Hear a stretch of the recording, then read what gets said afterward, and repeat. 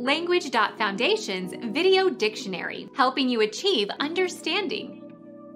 Wild goose having white adult plumage. Chen.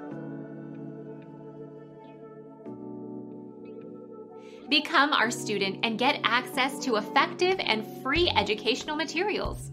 Subscribe to our channel to become a part of our growing community and to learn English effectively.